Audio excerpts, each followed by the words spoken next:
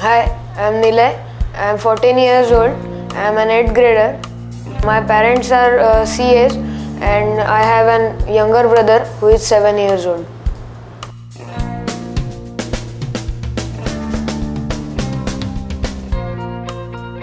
The thing that attracted me towards uh, developing mobile apps is that we can reach millions of people across the globe through one app and they become a part of one community. For example, people playing Angry Birds and Flappy Bird came together uh, to form a whole new community. They connected and uh, even between countries which had differences of thousands of kilometers. So it's a great way to connect people.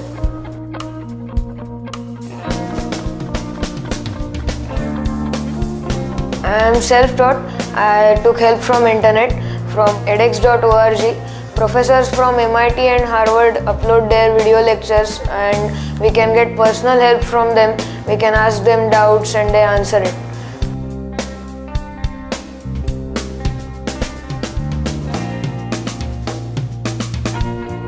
The most challenging part in developing an app is the first point conceptualization.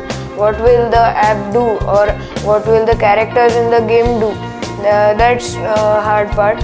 And uh, the second is after creating the app, the people don't know that uh, the app exists. So telling the people publicity is uh, another point because I can't um, go on walking on streets and telling people, hey, see my app, see my app. So uh, publicity is also a hard part of app development.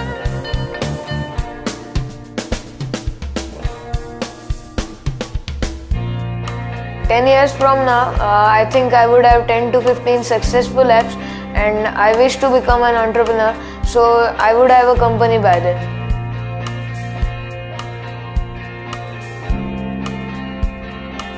The person I admire the most is uh, Mr. Akio Morita, the co-founder of Sony Corporation. I like him because uh, he didn't just choose to become the hire of Morita family. He did something different out of it. He built Sony from a startup in bombed up Tokyo to a leading company and pioneer in transistorized electronics and sound reproduction.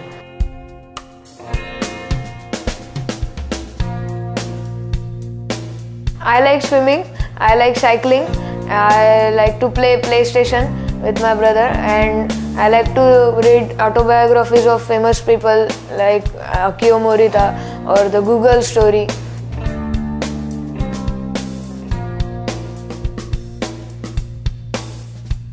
I think students should be given choice of subjects after 8th grade. They should be asked about what they truly want to learn and their further education uh, should be in such a way that it helps in realizing their true dream.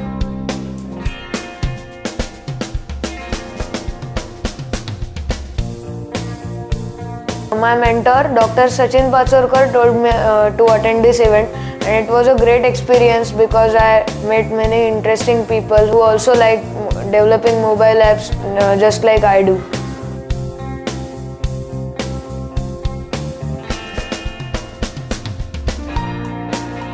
I would just say that don't be just trains on tracks, do something different.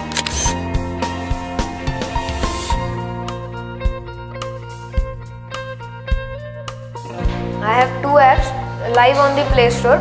One of them is Konfekte. It is about a candy uh, which rolls on the hill and we have to control that candy and avoid it being eaten by the bugs who try to catch it. You can download it anytime on Play Store. You have to search this K O N F E K T E S.